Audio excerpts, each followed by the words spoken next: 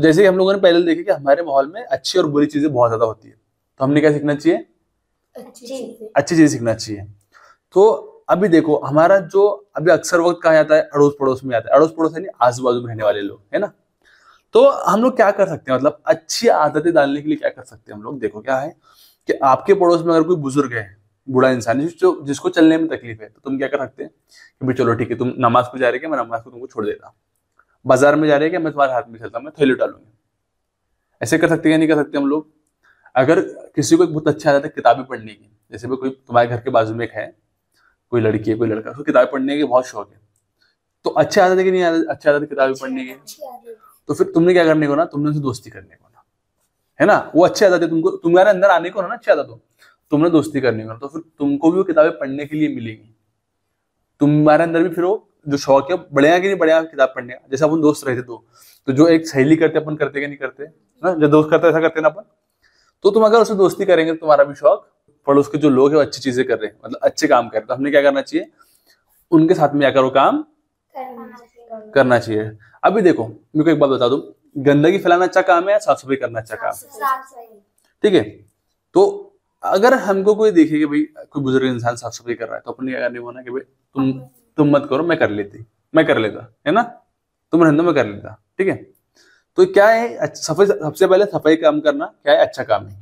दूसरा अच्छा काम क्या हो रहा है? कि बुज़ुर्ग की मदद हो रही उनको आराम मिल जा रहा। तो ये जो सब क्या है अच्छी आदत है इंसान के अंदर की ठीक है?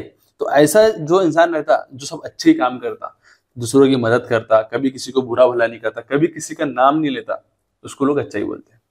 हम्म वरना लोग उसको खराब बोलते हैं। और फिर क्या होता है, वो बड़ा जैसे से होता है, वैसी वो आदत ज़्यादा खराब होती जाती है। ना? जैसे इंसान बड़ा होता ना, अगर वो बचपन में कुछ गलत काम कर रहा है, बुरे काम कर रहा है तो जैसे जैसे उम्र बढ़ेगी फिर काम भी वो ज़्यादा ज़्यादा बुरे करने लगते हैं। फिर जैसे कि भाई, किसी का नाम ले रहे तो फिर बाद में हम लोग लोगों से झगड़ने लगते हैं, झगड़े करने लगते हैं, फिर गुंडा कर दी वगैरह वगैरह, फिर वैसी चीज़ें होती है। अगर हम बचपन में एक गाली दे रहे तो बड़े होकर दस गालियाँ देते हैं।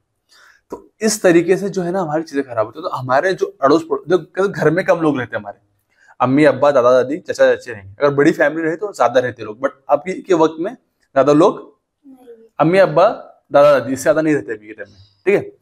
तो ये लोग है। तो हमारे अड़ोस पड़ोस में बहुत सारे लोग रहते और बहुत सारे लोग ऐसे रहते जो अच्छे पढ़े लिखे रहते ज़्यादा पढ़े लिखे रहते तो उनके अंदर जो आदतें रहती अच्छी आदतें तो हमने वो क्या करना चाहिए?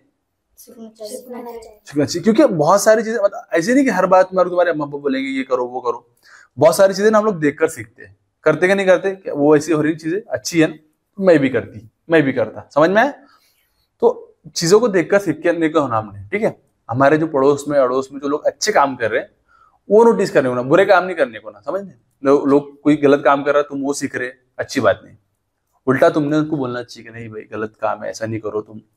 बुरी बात है ऐसा नहीं करना चाहिए। समझ में हाँ। तो कौन सी चीज़ें सीखेंगे आप? अच्छी। तो आपकी जो फिर तरबियत होंगी वो कैसी होगी? अच्छी। तरबियत अच्छी होगी। फिर कोई भी क्या बोलेगा कि बच्चे बहुत। अच्छे समझ में आया? जी हाँ।